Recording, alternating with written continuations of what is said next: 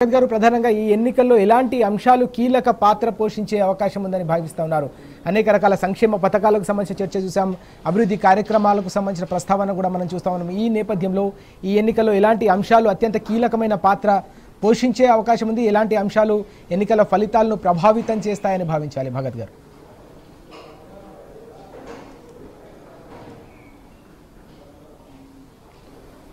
లే రెండు వేల పద్దెనిమిదిలోనే అంతకుముందు గడిచిన ఐదు సంవత్సరాలు ఎన్నో టీఆర్ఎస్ ప్రభుత్వం ప్రవేశపెట్టిన ఎన్నో సంక్షేమ పథకాలు.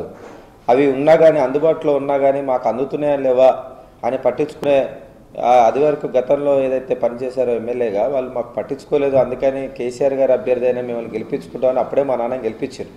ఈరోజు అనివార్యంగా మా నాన్నగారు మరణానంతరం వచ్చినటువంటి బై ఎలక్షన్ ఏదైతుందో అప్పటి నుంచి కూడా వాళ్ళు ఈ అభివృద్ధి జరగాలంటే కేసీఆర్ ప్ర- కేసీఆర్ గారు అభ్యర్థిని గెలిపించుకుంటామని అప్పటికే మీ నాన్న గెలిపించుకున్నాం మళ్ళీ కూడా మిమ్మల్ని గెలిపించుకుంటాం.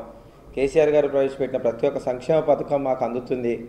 అవి ఇంకా అభివృద్ధి చెందాలంటే మాత్రం కేసీఆర్ టీఆర్ఎస్ పార్టీకి సంబంధించిన కేసీఆర్ అభ్యర్థి అయినటువంటి మిమ్మల్ని గెలిపించుకుంటామని మాత్రం చెప్తున్నారు.